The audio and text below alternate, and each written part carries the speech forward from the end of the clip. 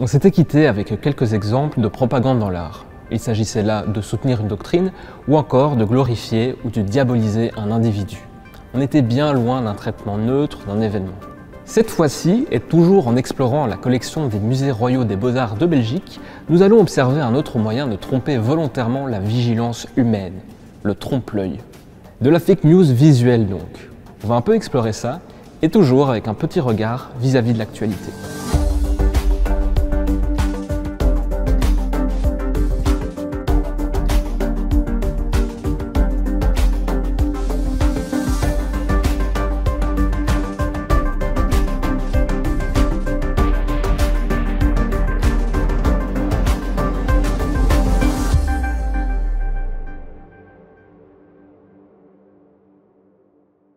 Le trompe-l'œil, eh bien, son appellation suffit à le définir.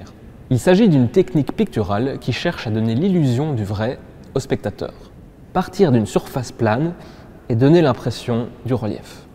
Comme premier exemple de trompe-l'œil, il y a la nature morte. La nature morte, c'est un genre qui consiste à peindre des objets inanimés dans une composition travaillée. Des aliments, des fleurs, des brôles du quotidien. En fait, c'est très ancien. D'ailleurs, en décembre 2020, des archéologues ont annoncé avoir découvert un thermopolium dans les ruines de Pompéi. Un thermopolium, c'est une sorte de fast-food de l'Antiquité, et on a retrouvé des fresques de nature morte. C'était certainement le menu illustré. Regardez, il y avait du canard, du poulet. Peut-être pas au menu celui-là. En fait, le genre de la nature morte va prendre tout son essor au XVIIe et XVIIIe siècle en Flandre et en Hollande. Ce qui est marrant, c'est qu'en néerlandais, nature morte se dit stillleven, vie silencieuse ou vie immobile. On a la vie donc, et pas le côté funèbre du français. Et donc, entre le XVIIe et le XVIIIe, certains peintres flamands vont aller plus loin que la seule représentation réaliste d'objets. Ils veulent faire croire qu'ils existent vraiment, là, prêts à être saisis. Cette œuvre du XVIIe siècle du peintre flamand Giesbrecht s'appelle Vanité. Mis à hauteur du regard, le tableau donne l'impression au spectateur que ce sont de vrais objets qui sont accrochés. Ils sont peints à taille réelle et c'est ce jeu de contraste clair-obscur avec ses ombres qui donne cette illusion de relief.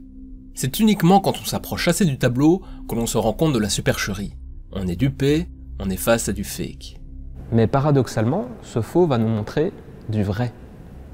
En examinant de plus près les objets, on remarque qu'ils construisent une réflexion qui, elle par contre, est vrai. Le titre du tableau, Vanité, est significatif. Ces ciseaux, ce rasoir, ce peigne, tout un arsenal de coquetterie. Et ces notes accrochées, ce sont des documents qui font référence à des comptes, à de l'argent. En fait, la réponse est au centre, dans cette niche, une bougie éteinte et un crâne. Peu importe l'effort que l'on met dans son apparence, peu importe la fortune terrestre, tout cela n'est que vanité car la réalité inévitable est là, on va tous mourir un jour. Mais parlons de sujets plus joyeux, parlons d'actu. Il ne faut pas croire que le trompe-l'œil est une technique réservée spécifiquement à la peinture. Avec l'arrivée de la photographie et puis de la cinématographie, certains ont pris cette technologie comme offrant la preuve objective du réel. Mais photos et vidéos sont bien loin d'être exemptes de subjectivité. Attention, je parle ici de leur utilisation dans un contexte informatif et documentaire, et non fictionnel, évidemment. Si la photographie peut être un outil puissant pour dénoncer une situation, elle peut aussi être utilisée comme arme de manipulation.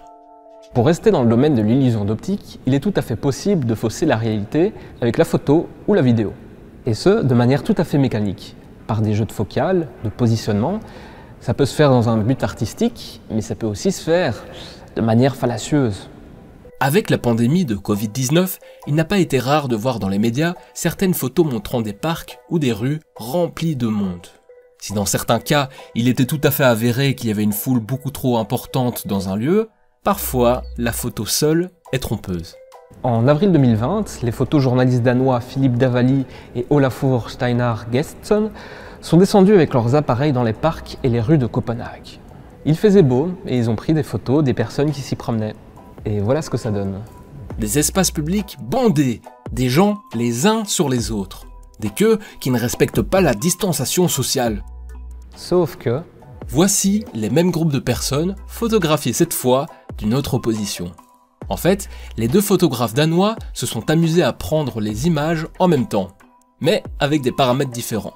Les photos de gauche ont été prises avec un téléobjectif, ce qui permet de faire des plans serrés de sujets assez éloignés. Et l'utilisation de ce type d'objectif a un effet très prononcé. Il écrase complètement les perspectives. Du coup, on dirait que ces gens ne respectent pas les 1m50 de distance. Les photos de droite, elles, ont été prises avec un objectif grand angle. Le but des photographes danois était de dénoncer ce style de prise de vue qui peut faire croire à une autre réalité. Des photos fake news en somme. Gay Brecht donnait du relief à ces natures mortes. Ici, au contraire, on aplatit le tout. Maintenant, il ne s'agit pas forcément d'une manipulation des médias, car dans beaucoup de cas, pour illustrer des articles sur Internet, ils vont piocher un peu à droite à gauche des photos dans des banques d'images en ligne. Mais c'est trompeur, effectivement. Et même, ça trompe l'œil. Dans un dernier exemple de nature morte, mais cette fois-ci plus moderne, nous avons ce tableau de 1919 de Georges Braque. Le trompe-l'œil ici n'est plus de donner de la profondeur, mais de créer l'illusion de la texture. Ici, du bois.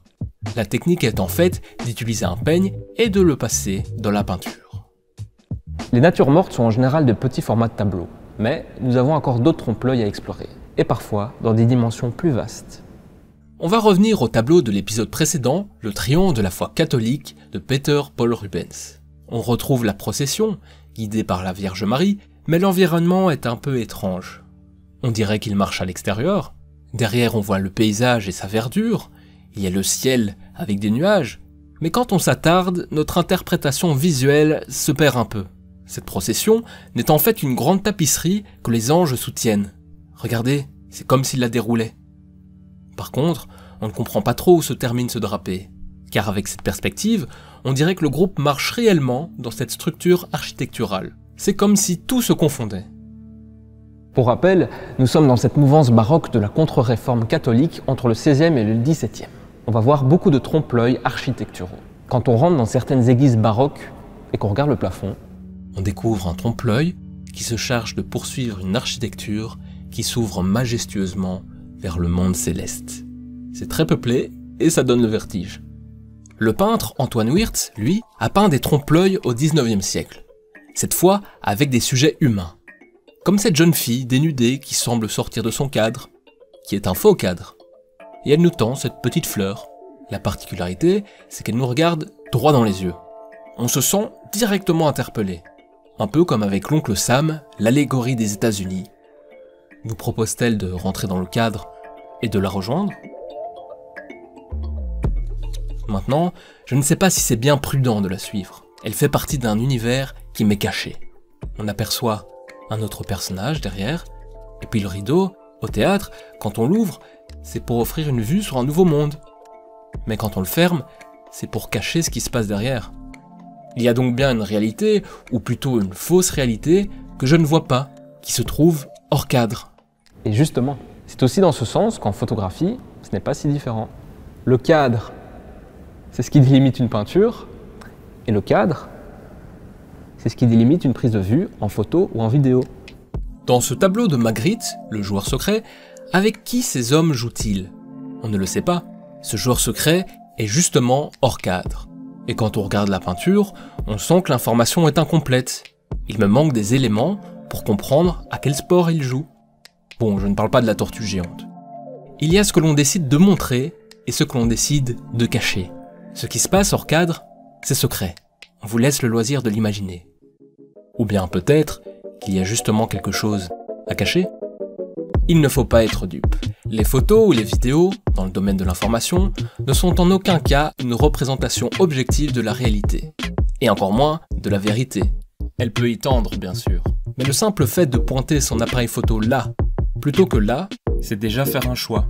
Et donc c'est subjectif. Cadrer, c'est donc sélectionner quelle réalité montrer, en photo comme en peinture. Car en dehors de ce cadre, il y a peut-être une toute autre réalité. Évidemment, toutes les photos ne sont pas fake news. Mais parfois, c'est bien ce que l'on veut faire dire à ces images qu'il est. Ce qui est important, c'est l'intention de la personne qui prend ces photos, mais aussi l'intention de ceux qui les utilisent. Il ne faut donc pas prendre toute image comme vérité absolue, et encore, je ne parle pas des photomontages. Pour conclure, je vous propose un dernier trompe-l'œil. Vous êtes des experts maintenant. Vous l'avez peut-être aperçu si vous vous êtes baladé du côté de la place royale entre 2008 et 2009, les travaux du musée Magritte. Et ça tombe bien, car dans le prochain épisode, c'est là-dedans qu'on va chercher tous nos tableaux. Car notre peintre surréaliste, euh, l'air de rien, nous fait quand même bien réfléchir sur les fake news. Vous allez voir. Allez, à suivre.